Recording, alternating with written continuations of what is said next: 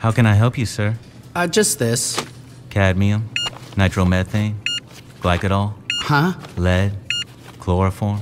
But uh, uh, I only want a pack of cigarettes. Yeah, but all these come with it butane, hexamine, naphthalene, geranic acid, polonium.